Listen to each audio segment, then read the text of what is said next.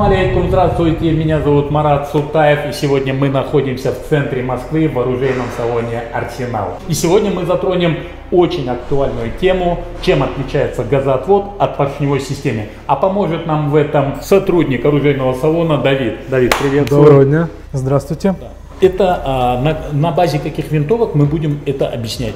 Итак, у нас тут представлены две винтовки американского производителя POF USA. Модель Revolution в калибрах 6,5 Creedmoor. Полуавтоматы на стандартной платформе R15. Угу. Изначально POF Revolution выпустили самую стандартную винтовку R15 в кастоме под 51 ствол, под 308 калибр. Угу. То есть их э, фишка была в том, что они сделали такой конструктор под несколько калибров на одной базе, который в будущем будущем они планировали домодернизировать. Это стандартная R15 платформа со стандартным газоотводом. То есть пороховые газы непосредственно отводят, отводятся в ствольную коробку. Ага. Да. Здесь. Здесь же, э, соответственно, они сначала выпустили первую модель, потом обратили внимание на то, что некоторые покупатели просят изменить принцип автомат, э, работы автоматики. Ага. Соответственно, на ARP-платформу можно поставить очень успешно поршневую систему. И Кох это давно доказали. В POF сделали conversion kit, который ставится на самую классическую POF винтовку. То есть снимается цевье, угу. газоотводная система с газоотводным штоком, угу. накидывается поршневая система, накидывается новое цевье с несколькими несколько увеличенным гребнем. И, пожалуйста, у вас получается стандартный POV, но с поршневой системой.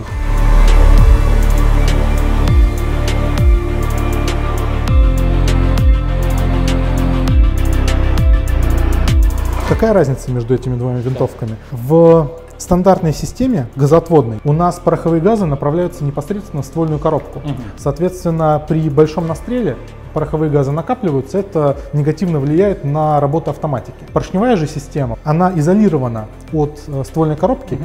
пороховые газы выходят вне ствольной коробки и непосредственно поршневой шток э, воздействует Толкай. на затворную группу, толкает ее. Сейчас я, кстати, покажу. Так, сейчас быстренько покажем. Не, не все же знают. Так, я тут то есть да? он давит вот сюда. Вот сюда, на верхний гребень да. затворной рамы. Соответственно...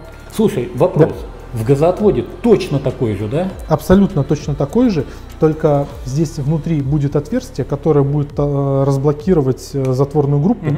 И... Давай покажем сразу. Конечно.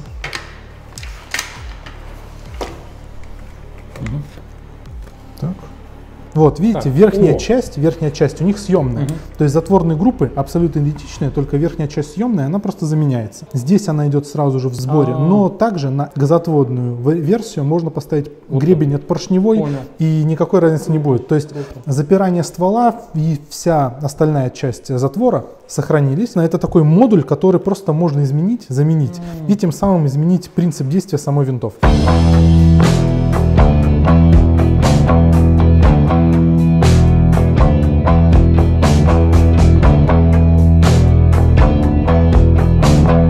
Первый вопрос. Какие э, качества есть у обоих типов? То есть, как я понимаю, в газоотводе у нас есть вероятность того, что забьется газоотвод, вот эта длина газоотвода может ну, засориться, например. Засориться.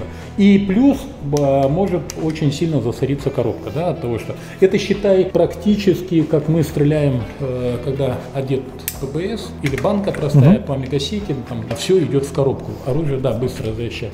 Почему они не начинают все так делать? Принцип действия газоотводной системы позволяет меньше нагружать э, вибрации угу. ствольную коробку, затворную группу и ствол потому что пороховые газы воздействуют непосредственно на затвор, который движется назад. Соответственно, на ствол идет меньше вибрации от импульса выстрела от самого. Такая система газоотводная дает меньше вибраций и большую кучность, чем поршневая. Но ПОВ, в общем-то, собрали такую поршневую систему, что между этими двумя винтовками разницы на куче, в общем-то, нету. Некоторые могут спросить, куда уходит газ, э, в, ну, газ, который дает на поршень, отсюда. Он выходит вот тут, отсюда. Вот. Совершенно верно. Там... не попадая, в ствол не попадая. То есть со ствола вышел, давит, излишки вышли. Совершенно верно, да. Они дали первичный импульс поршню, поршень толкнул, и после этого, как появилось отверстие, пороховые газы вышли, но первичного импульса хватило, чтобы автоматика произвела перезарядку винтовки. Как их можно отличить вот так визуально? То есть, допустим, я очень часто показываю, как можно отличить визуально 545 от 762, и как отличить поршневую систему от газоотводной. Разница в цевье. Цевье адаптировано под газоотводную, точнее, под поршневую систему, которая занимает больше места.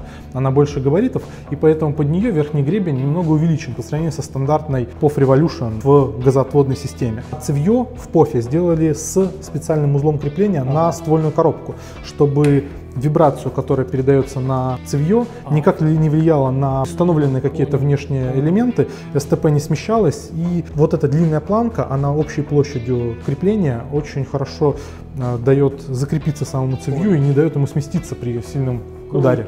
Круто. Мне кажется, в принципе, я бы, наверное, выбрал больше поршневую систему. Почему? Когда нужно огромное количество делать выстрелов, там, в день, там, 3-4 тысячи, то, мне кажется, газоотвод забьется.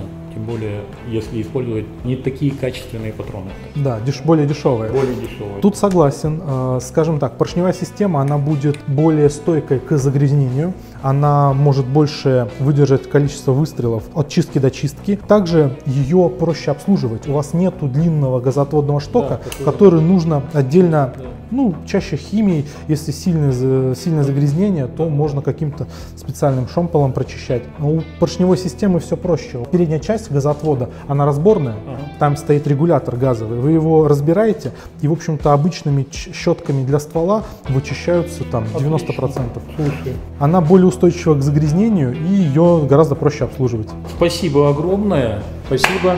И, кстати, если, короче, ролик понравился, ставим лайк, подписываемся. И обязательно, если есть какие-то вопросы, задавайте их в комментариях. Почему? Потому что в этом оружейном салоне, напоминаю, это Пресненский ВАУ-36, огромное количество оружия, огромное количество прицелов. Мы можем все сравнить и все вам показать. Давид, огромное спасибо.